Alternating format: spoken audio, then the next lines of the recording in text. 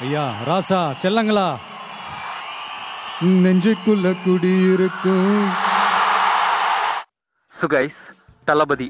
இந்த ஒரு மனிதருக்கு பார்த்தோம்னா உலக அளவில் எந்த அளவுக்கு ஃபேன் பேஸ்ன்றதும் சரி படங்களுக்கு உண்டான மார்க்கெட்டுக்கும் சரி இருக்கு அப்படிங்கிறது நம்மளுக்கு தெரியும். இது வரைக்குமே தமிழ் சினிமாவில் இருக்கிற வேற எந்த ஒரு ஹீரோவுமே டச் பண்ணாத சாதனையை நம்ம தளபதி பண்ணியிருக்காரு. இந்த ரெக்கார்டுங்கிறத பிரேக் பண்றதுக்கும் நம்ம தளபதியால மட்டும்தான் முடியும் அப்படிங்கிறதுல எந்த ஒரு மாற்று கருத்துமே கிடையாது.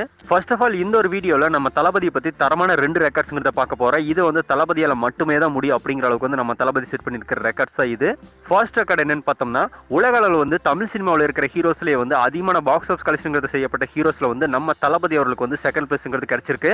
ஃபர்ஸ்ட் பிளேஸ்ல இருக்கிற ஹீரோ வந்து சூப்பர் ஸ்டார் ரஜினிகாந்த் அவர்கள் தான் இருக்க முடியும் அப்படிங்கிறது எல்லாருக்குமே தெரியும். பட் தளபதிக்கு வந்து செகண்ட் பிளேஸ்ங்கிறது கிடைச்சிருக்கு அப்படிங்கிறது மட்டும் ரெக்கார்டுங்கிறது கிடையாது. நம்ம தளபதி இந்த லிஸ்ட்ல வந்து நம்பர் ஒன் பிளேஸ்ங்கிறதையும் பிடிச்சிருக்காரு. அது எப்படின்னு பார்த்தோம்னா தமிழ் சினிமாவில் இருக்கிற ஒன் ஆஃப் தி டாப் ஹீரோனா நம்ம தளபதி. ஸோ இது வரைக்குமே தளபதியோட படங்களை பார்த்தோம்னா தமிழ் தெலுங்குன்னு சொல்லி ரெண்டு லாங்குவேஜ்ல மட்டும்தான் டப் பண்ணி படங்களை தியேட்டர்ஸ்ல ரிலீஸ்ங்கிறது பண்றாங்க. ஸோ அப்படி வந்து ஜஸ்ட் ரெண்டு லாங்குவேஜ்ல மட்டுமே டப் பண்ணி ரிலீஸ் செய்யப்பட்ட நம்ம தளபதியோட படங்களான மெர்சல் சர்க்கார் பிகில்னு சொல்லி இந்த மூன்று திரைப்படங்கள் மட்டுமே வேர்ல்டு வைடா பார்த்தோம்னா எட்நூத்தி அறுபத்தி ஐந்து கோடி ரூபாய்க்குமே கலெக்ஷன் பண்ணியிருக்கு. Eight hundred sixty five crores வரைக்குமே நம்ம தளபதி கலெக்ட் பண்ணியிருக்காரு.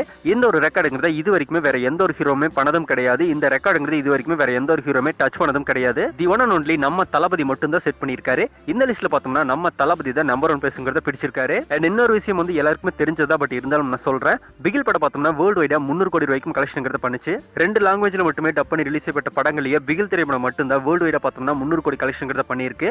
இந்த லிஸ்ட்லயும் பார்த்தோம்னா பிகில் படத்தின் மூலமா நம்ம தளபதி தான் நம்பர் ஒன் பிளேஸ்ங்கிறத பிடிச்சிருக்காரு ஒரு மனுஷனுக்கு பார்த்தோம்னா எந்த அளவுக்கு ஃபேன் பேஸ்ன்றது இருந்தா ஜஸ்ட் ரெண்டு லாங்குவேஜ் ரிலீஸ் செய்யப்பட்ட படங்களையே பார்த்தோம்னா இந்த அளவுக்கு பாக்ஸ் ஆஃப் கலெக்ஷன்ங்கிறத தட்டி தூக்குறாரு நம்ம தளபதி. இன்னும் அதர் லாங்குவேஜ்ல எல்லாம் படத்தை வந்து டப் பண்ணி ரிலீஸ்ங்கிறது பண்ணாங்கன்னா டெஃபினட்டா தளபதிக்கு உண்டான மார்க்கெட்டுங்கிறத வேற லெவலில் தான் இருக்கும்.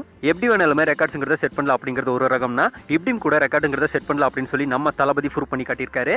நம்ம தளபதி செட் பண்ணியிருக்கிற இந்த ரெக்கார்ட்ஸ் எல்லாமே பார்க்கும்போது எஸ் தளபதி ஃபேனா உங்களுக்குள்ள என்ன ஃபீல் ஆகுது? தளபதி பத்தி என்ன நினைக்கிறீங்க அப்படிங்கிறத மறக்காம கீழே இருக்கிற கான்வர்ஸ்ல தெரிவிச்சிருங்க. இன்னும் தளபதி ஃபேன்ஸ் யாராவது நம்ம சேனல் வந்து சப்ஸ்கிரைப் பண்ண இருந்தால் மறக்காம சப்ஸ்கிரைப் பண்ணிக்கோங்க. தளபதி பற்றின அப்டேட்ஸுங்கிறது உடனுக்குடன் உங்களுக்காக